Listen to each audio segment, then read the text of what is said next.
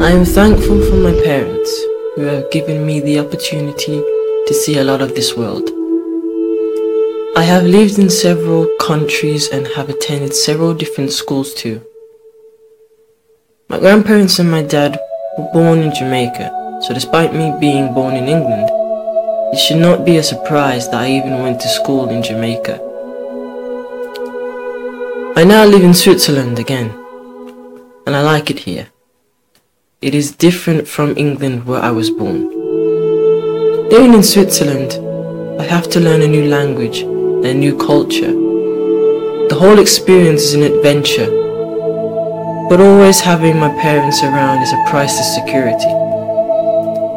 As I grow, I watch my parents deal with day-to-day situations, and by watching them, I am also inspired. And being grateful to my parents, my dream is to be educated, learn as much as possible in school, and hopefully one day it will pay off to make my parents proud.